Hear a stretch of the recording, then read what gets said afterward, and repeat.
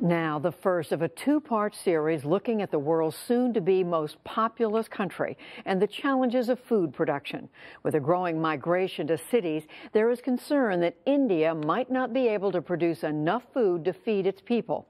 Special correspondent Fred de Sam Lazaro reports on one group's effort to restore rural land and communities. It's part of his series, Agents for Change.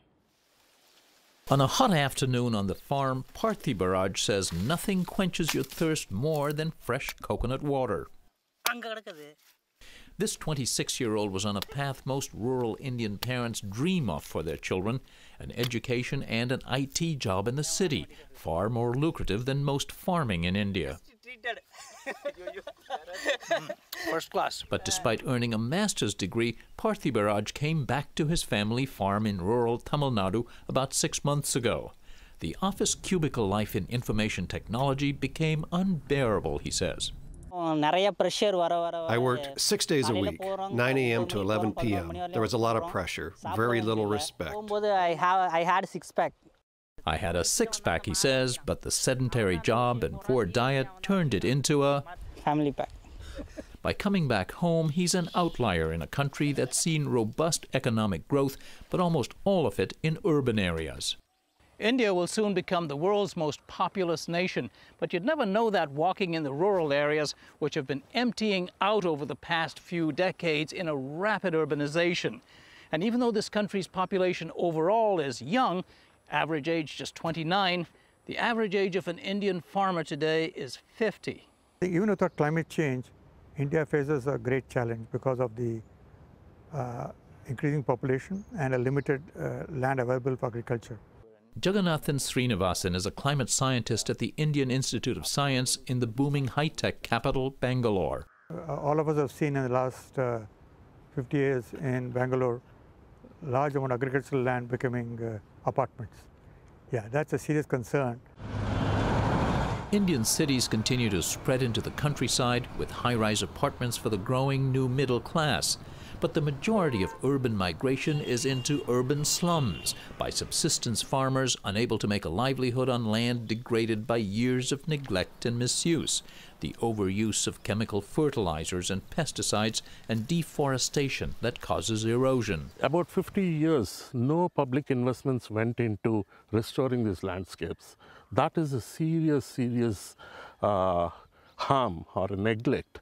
Jagdish Rao started a group called the Foundation for Ecological Security, which has worked to fix that neglect. He brought me to an area about two hours outside Bangalore that has languished for years, says farmer TV Srinivasa. There was no water in the tanks. There was no water for livestock. No fodder in the common lands. We'd work here in the rainy season, but when it didn't rain or in drought, we had to go to Bangalore. We went to the city for at least six months of the year.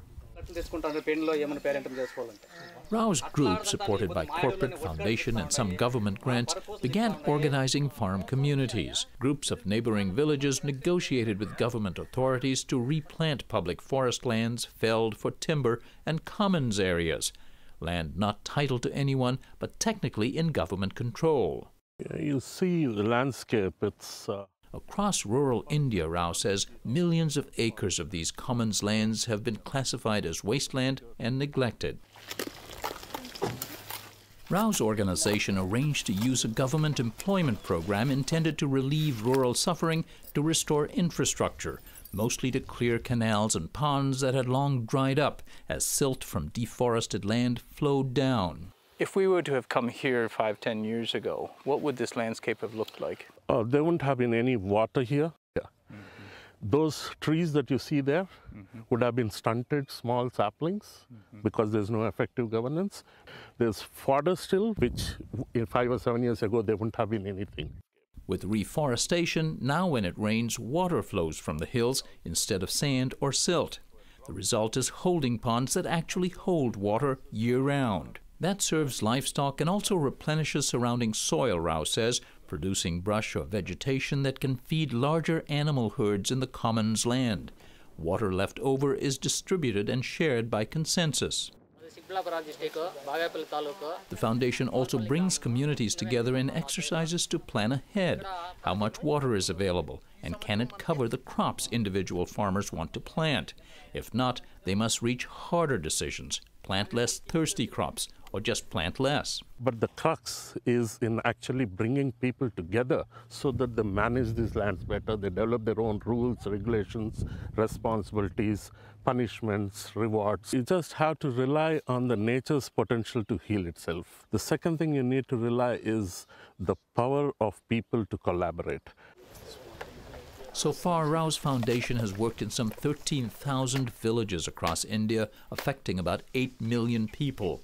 He says in time, government officials, who may have been wary at first, have come to see the group as an ally, one that helps them deliver results. There are concerns about equity, whether larger growers will take more than a fair share, but these farmers say they're not worried. The village has hired an irrigator whose job is to make sure that the water is distributed fairly across all the farms. He is paid by all the farmers. And they say having water year round has slowed migration to cities and in some cases prompted the reverse for literally greener pastures here, a chance to go beyond subsistence farming. 28 year old Venkat Narayana has a college degree but says he didn't need it to do the math. In the city, I could probably make around 20,000 rupees a month, but here I make about 50 to 60,000 working with animals. I work two hours in the morning and two hours in the evening.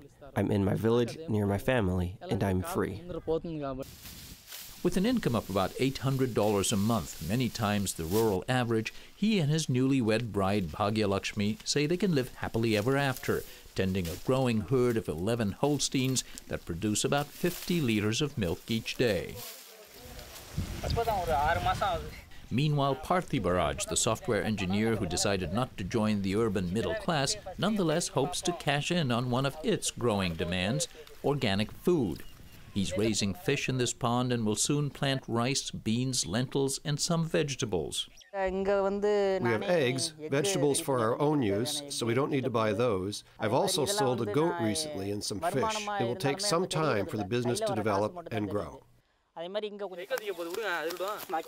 The income isn't yet what he was making in the lucrative software engineering field, but it's a shot at a lifestyle he's wanted since he was a kid, he says, running around the family farm, pursuing the goats, and now that abdominal six pack.